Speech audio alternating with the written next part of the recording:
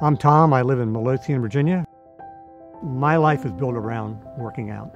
I grew up uh, in Virginia Beach and found out right away I, I, sort of stunk at every sport. But I knew I could run, and the, uh, the running sort of catapulted itself to the point where I became a fairly decent runner. Knee issues probably started about 12 years ago. I pretty much had to give up running. I went from, you know, 80, 90, 100 miles a week to zero. Uh, but I found that I could ride the bike and not have issues. But the knee just deteriorated, got to the point where I could ride a bike, but I pretty much couldn't walk to the mailbox. And it got to the point where quality of life stunk.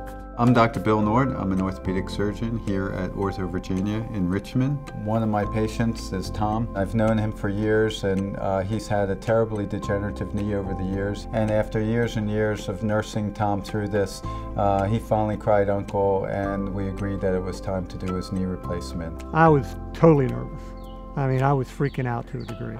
But I, I think the point with Dr. Nordt, his attitude is so positive and the team that he has built in a clinic are so positive that when you go in there, they take you as an individual and you feel like you're the only focus they have at that point.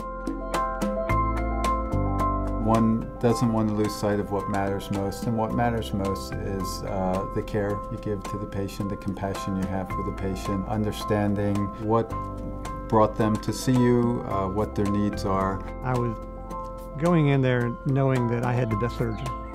From the time I checked into the hospital, I was pretty impressed with the entire staff, to be quite honest.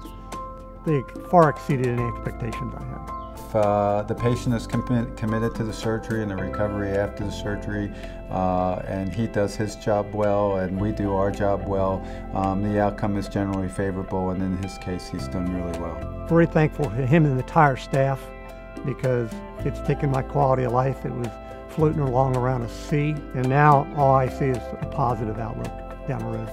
Given all the technological advancements that we have at our disposal today, uh, as a doctor, you can never lose sight of what matters most, and what matters most is, is the, uh, the care and compassion you have for the patient.